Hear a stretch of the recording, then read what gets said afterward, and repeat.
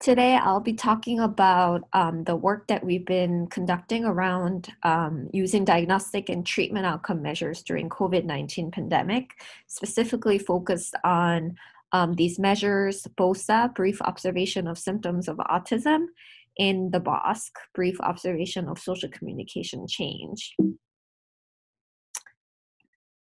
Um, I want to mention that the work that I'm presenting today um, is based on collaborative efforts. Here I've listed um, authors and um, uh, collaborators for the BOSCC and BOSA.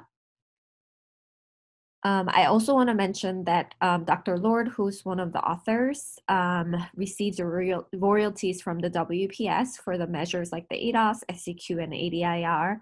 And both the BOSA and BOSCC are copyrighted by WPS, um, but the authors are not receiving royalties.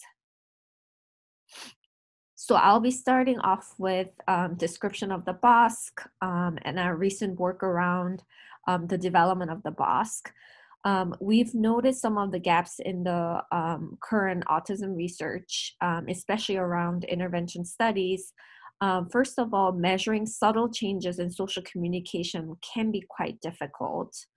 Um, we also noticed that diagnostic tools like the ADOS are often used in intervention studies to examine treatment response, but they might not be necessarily sensitive enough to um, pick up subtle changes over the course of treatment. Also, solely relying on parent or clinician report could introduce um, biases, so potentially placebo effects or um, they can accentuate treatment response because the parents or the treating clinicians are not blind to treatment status. Um, recent review has also revealed that um, out of about 300 different intervention trials, about 500 different um, uh, treatment outcome measures have been used. So there's huge variability in the use of treatment outcome measures that can really interfere with uh, comparing results across different studies or different um, treatment modalities, and also replication. Um, so we developed the BOSCC um, to um, allow it to be sensitive enough to measure changes in core symptoms of autism, which is the social communication behaviors, over a short period of time, um, as short as, as um, six to eight weeks, um, and also to make it reliable. Um, we also use a video of um, 12 minute BOSCC session um, that is coded by uh, blind coders who don't have any treatment related information um, to minimize bias that might come from other measures like parent and clinician report. And then we also wanted to make the measure flexible enough, but also standardized so that it can be used in a reliable and consistent way across different sites and studies. Um, it is also supposed to be user friendly, so the coders as well as the um, social partners or, or the examiners um, do not receive, do not have to receive intensive training. So um, we have uh, looked at the psychometric properties of the BOSCC for especially minimally verbal children. Um, and the minimally verbal version of the BOSCC um, is designed to be fun um, and also engaging, and it involves different um, kinds of materials. And as you can see in this picture, we've um, selected different sets of toys and uh, materials that can um, uh, trigger or prompt some uh, different varying levels of play. Um, so we start with about four minutes of play with um, our first set of toys, and then um, that's followed by two minutes of bubble play, and then also another four minutes of play with new sets of toys, and then another two minutes of bubble play. So here you'll see the example of the um, administration.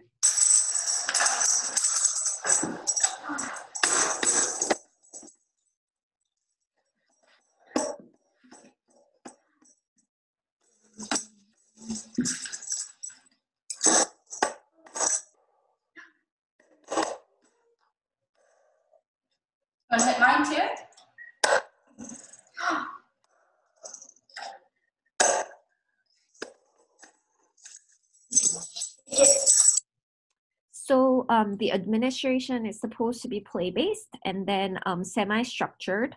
Um, so you can see that the examiner here, the social partner, um, is trying to strike the balance between um, encouraging the child to play with the toys on his own without too much prompting also, but um, supporting the play so that the child can be engaged.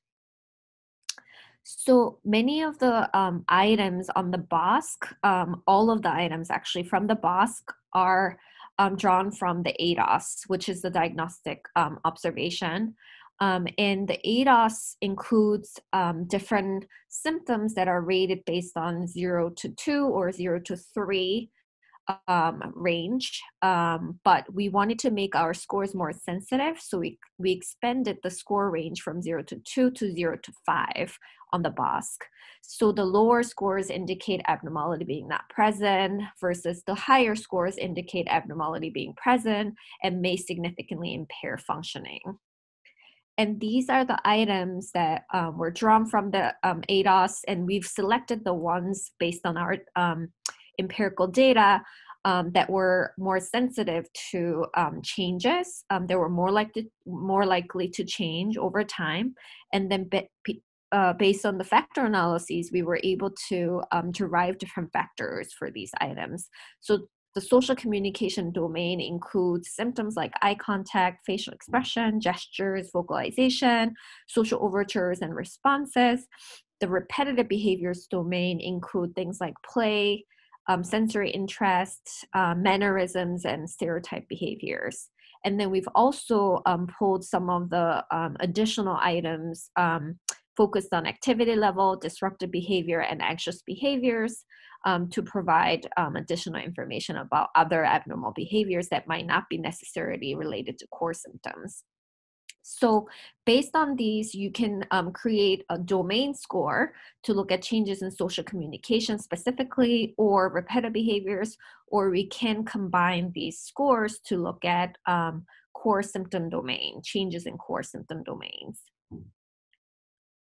So based on the data that we had for um, toddlers and preschoolers who were getting um, early intervention, we were able to show the validity of the BOSCC. Here, the solid lines represent BOSCC scores and the dotted lines represent the ADOS scores. Um, so when we use the BOSCC that are applied to examiner-child interaction, which is actually the ADOS context, but BOSCC coding, as well as BOSCC codes applied to caregiver child interaction from pre to post treatment, we see significant decreases in symptom levels for these children with autism, with effect sizes ranging from 0.5 to 0.6 when we apply the ADOS scores, so ADOS comparison scores or calibrated severity scores or algorithm totals, um, we don't see that the ADOS scores can pick up those changes that are picked up by the BOSCC. So this might indicate that the BOSCC might be more sensitive measure to um, track um, changes in um, social communication um, in children with autism. So um, we are now trying to implement um, the BOSCC in home setting so that we can um, look at the treatment response or changes in social communication over time in a more naturalistic setting. Um, so um, in order to do that, um, we've created video-based instruction that is um, sent home with the um, families with um, compact kits um, that can be easily traveled with, and then also a picnic blanket that can defi help define the space for the families at home while delivering the BOSCC. and then we also use the telehealth platform to um, deliver the uh, home BOSCC um, session with the families. Um, and we also created an online scoring system so the families or clinicians can upload these videos um, on a HIPAA compliant server. And then the online coding system can um, distribute the videos among uh, blind coders. And the blind coders can um, use the streamlined system to, um, to mark and flag um, those uh, symptoms that we are observing. And these coders are, of course, blind to um, the time points of the treatment or the video um, before or after treatment, or whether the children are receiving treatment or not, so that we can have more objective measure. Um, not only we are interested in um, using the um, BOSCC context for this um, BOSCC coding scheme that we developed that are uh, rated by um, human coders, but we are also very interested in applying uh, machine learning algorithms to detect um, changes in social communication or language or speech uh, um, acoustic properties uh, using these uh, videos. So we are working with um, engineers um, led by Dr. Shri Narayanan um, at USC to um, develop automated algorithms, automated methods to pick up um, uh, treatment response in these children using the BOSCC videos that we've collected. Um, we are also very interested in looking at features like face uh, to face posture, um, or um, uh, joint attention skills like showing or um, giving objects or um, head orientation um, using the machine learning algorithm. And we're hoping that this can give us um, an option to have a more scalable measure that can be applied to a large um, amount of data in conjunction with the behavioral methods that we are using. Okay, so I'm going to switch the gear a little bit and talk about um, the development and the use of the BOSA um, during pandemics. So the BOSA stands for the Brief Observation of Symptoms of Autism. And the BOSA was developed because the ADOS-2, ADOS, which is a diagnostic gold center diagnostic measure that has been used widely um, in a diagnostic process for clinicians in the US and worldwide, um, is not appropriate to be administered via telehealth.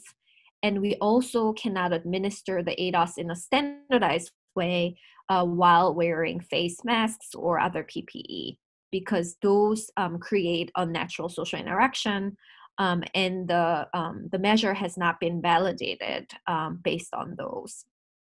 So the BOSA provides a standardized context of activities using um, tasks from the BOSCC and the ADOS that can be administered by an adult. So it can be a parent or therapist within about 12 to 40 minutes of observation. And this can be done without PPE in clinic or home because clinicians can stay in the observation room while the families um, de- uh, deliver this um, session um, without PPE in a testing room, or the clinician can deliver this through telehealth as well. But I want to emphasize that the BOSA has not been um, validated yet. We are currently writing up the first psychometric paper. Um, and we're hoping that we can actually get the paper out in a few couple months so that um, we have a little more evidence um, and and the BOSA can be used more effectively and widely. Um, the clinicians familiar with the ADOS can observe the BOSA live or through video and then complete uh, many of the ADOS codes. Um, so the ADOS codes can be transferred then into um, a DSM-5 checklist and recoded um, so that we can demonstrate the evidence, the presence or absence of symptoms across different diagnostic domains that are indicated on DSM 5. Um, I want to emphasize uh, that this is a tool that we designed to assist in um, clinical decision making during um, pandemic, and it is not meant to replace the ADOS. And the BOSA, because it's a um, short um, uh, uh, assessment assessment tool um, uh, which cannot replace the ADOS, which gives a little more uh, rich information. Um, we want to emphasize that emphasize that the BOSA should be used in combination with a thorough developmental history and parent report measure like the ADI. Um, the BOSA has four different versions, um, one minimally verbal version, another uh, phrase speech and young um, young fluent version, and that's um, for children who have phrase speech, flexible phrase speech, or those who are verbally fluent but who are at younger age range, so around six to eight years. And then we have another version for verbally fluent children uh, from about six, eight to 10 years of age, which is called Fluent Speech 1 version. And then Fluent Speech 2 version is appropriate for verbally fluent children over 11 or um, adolescents and adults. As I mentioned briefly um, initially, um, the BOSA is structured around BOSCC activities. So the minimally verbal version, um, again, um, uh, includes um, four minutes of toy uh, play and then two minutes of bubble play, another four minutes of play with different sets of toys, and then two minutes of bubbles. So I can show you how the um, BOSA is um, administered for minimally verbal child with autism. Nice. Good job.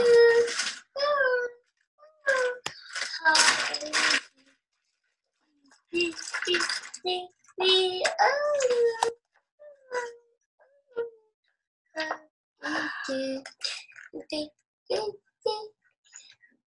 you want to help me build?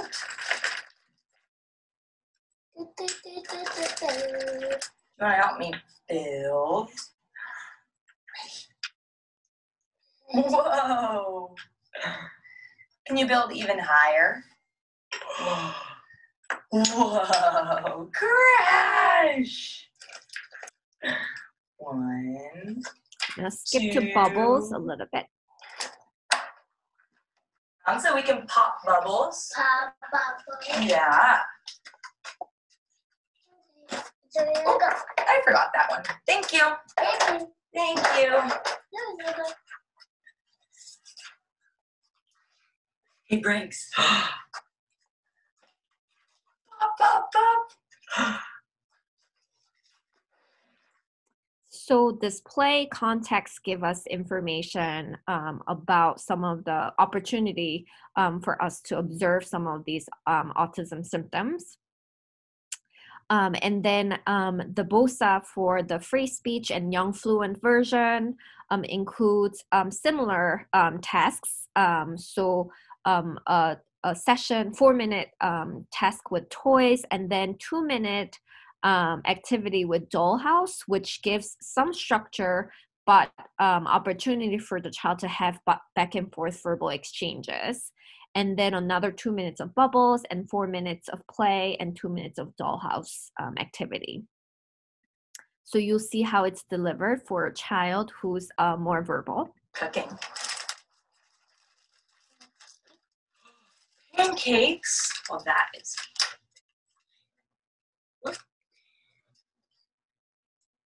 Oh, here. The button is right here.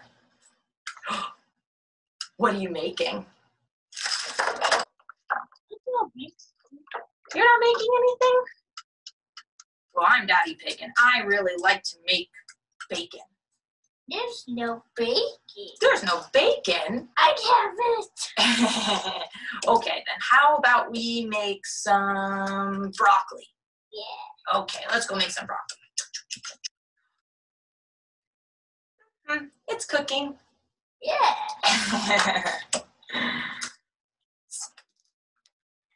Finish the house. Give them. We're gonna skip Roof. to That's it? the dollhouse. Will you put it in the box? Oh, the red one. Oh, look, I think I see something behind the green one. What door is it? The number four. It's the number four. Nice job finding the right key. Oh, What's behind there? Everyone. Everyone is behind that door. How silly is that? We have three people. I think we're still missing one. Number three. Which door is it going to be behind? See? Is it locked? Knock, knock, knock. Are you in there? No, no one's in there. No one's in there. Let's ring the doorbell. knock, friend, where are you? Here you can see that um, having the material like the doll, um, the dollhouse helps the child to have something um, concrete, but also um, helps the examiner engage the child in some back and forth verbal exchanges, um, which we expect to see in these verbal children. Cooking. Um, and then um, for more um, highly fluent um, children, we um, have different sets of toys. Uh, we might start with, we would start with the basketball, um, tabletop bas- basketball um, game, and then go into Pop the Pig um, um, activity. We sometimes use Jenga for this and have um, conversation cards that go with um, this activity so that we can, again, get some information about how the child can engage in back and forth conversation with some support.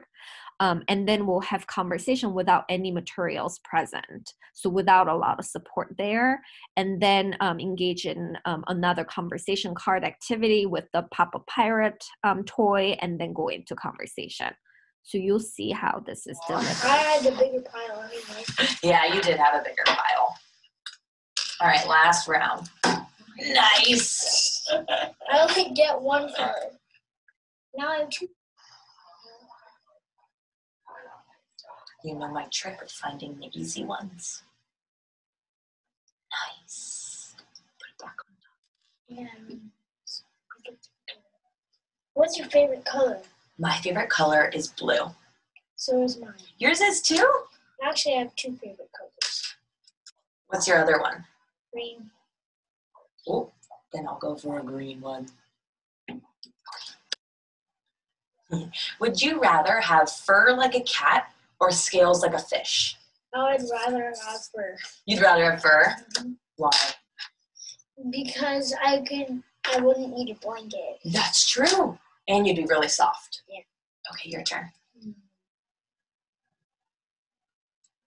so here the examiner and the child take turns um, taking block a block out of jenga game and then also looking through the cards that correspond with the um, color on the jenga pieces okay so then um, we have the f2 version for children um, from 11 years of age as well as for adolescents and um, adults and um, we play with slapjack um, game and then go to Jenga and have conversation and then play also another game um, like suspend and then get into conversation for two minutes. So we'll see the example of how this is delivered for adults.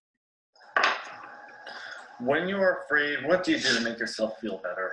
Hmm, when I'm afraid, um, I think I give myself a pep talk. Really don't like going hiking, so I tell myself I can do it. Sometimes I can, but sometimes it doesn't work out always. Mm-hmm. It's your turn. Yes, I think so.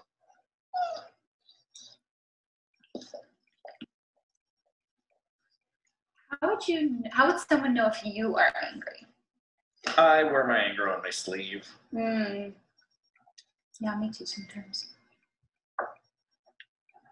Okay, so the BOSA um, creates this um, standardized context for us to be able to observe um, some of these autism symptoms, especially around social communication. And once the BOSA is delivered, um, the clinicians in um, might be in the observation room or um, on telehealth platform um, and um, based on the observation, we score the ADOS protocol, which um, can, and there are different modules that we can select based on the age and language level. And then those ADOS codes are then um, transferred to the DSM 5 checklist that we've also created as a part of the BOSA. Um, and sometimes the ADOS score, again, ranges from 0 to 2 or 0 to 3, can be converted into zero, one versus 2, 3. So zero, one will be converted into 0, or 2 to 3 might convert it into 1 to indicate absence or presence of symptom. Sometimes we will um, transfer it in um, this way 0 to 0 versus 1 to 3 to a 1.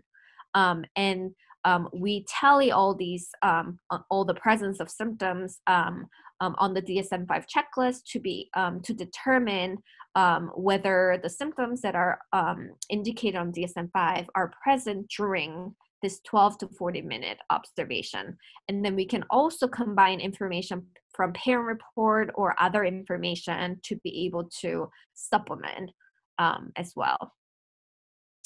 So um, as I told you, um, the um, the transfer or the recoding um, from the ADOS to um, the BOSCC, uh, the BOSA, um, is uh, now based on empirical data. Um, so based on about 3,000 individual, we looked at sensitivity and specificity of these items that map onto the, the DSM-5 checklist uh, from the ADOS, um, and then determine whether we should have a cutoff at zero versus one, two, three, or zero, one versus two, three. And we were trying to maintain sensitivity and specificity around 70 to 80 percent um, but um, but specificity was of course prioritized to be at least um, at 65%. Um, so these numbers are empirically based, but these were derived from the ADOS code applied to the ADOS context. So we are now looking at how BOSA coding, um, so these codes um, that are applied to the BOSCC or BOSA activities um, um, would look like in terms of validity um, in our first psychometric paper. So the validation efforts are currently underway. Once we observe these symptoms um, based on the BOSA activities, um, we can then um, uh, describe these symptoms in our um, report or in our um, clinic, clinic, um, clinical diagnostic process. and uh, if the um, child um, shows enough symptoms um, in combination with other report like the ADI, which is the clinician um, delivered um, diagnostic interview, we can make a decision about clinical decision about the presence um, of the diagnosis or the diagnostic criteria. So, in summary, we are hoping that the implementation of the BOSCC procedure in home setting um, as well as the use of the BOSA um, um, in the um, uh, during pandemic can be useful um, when we cannot deliver the ADOS in a valid way. Um, so we are hoping that especially for the BOSA, we can get the first psychometric data out in a couple months. and I know that there might be some questions and I'm happy to answer them um, on the Whova app if you can put those um, questions in. Um, and you can always reach me via email. Thank you so much.